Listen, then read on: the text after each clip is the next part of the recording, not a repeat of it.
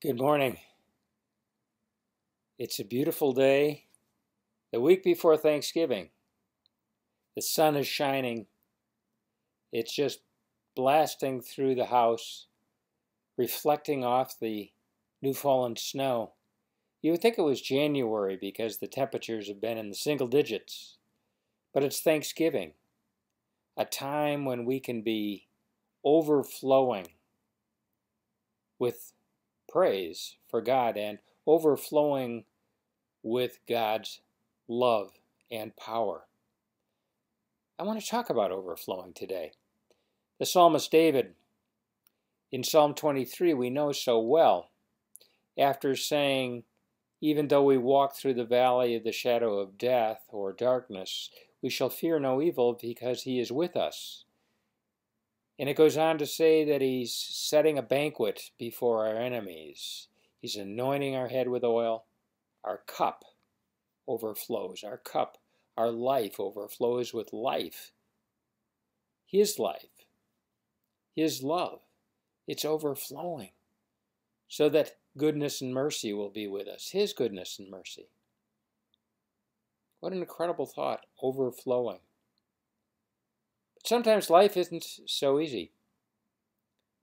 In fact, we suffer grief from loss, loss of many kinds, loss of job, loss of health, loss of of finances, loss of loved ones.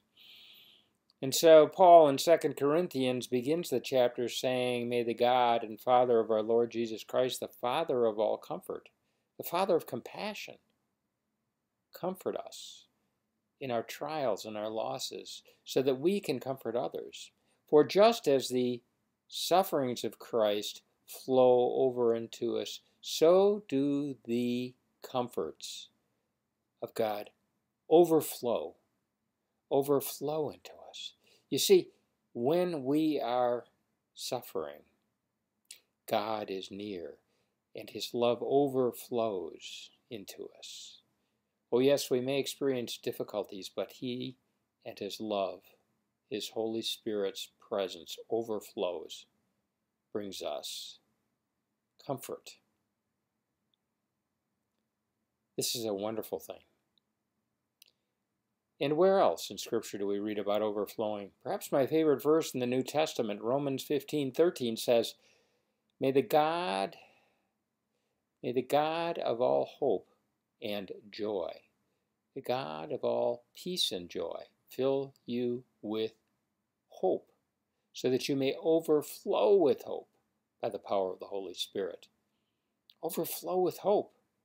This is the season where we begin to think about Christmas.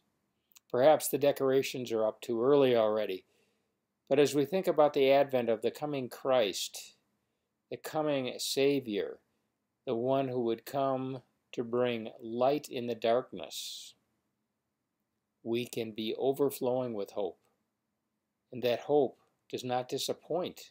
That hope that flows within us that makes us not thinking, oh, I hope it's going to be a good day, but the knowledge of those things unseen, the hope of our salvation, the knowledge that Christ is in us and overflowing us his salvation is bringing healing, it's bringing strength, it's bringing counsel, it's bringing comfort.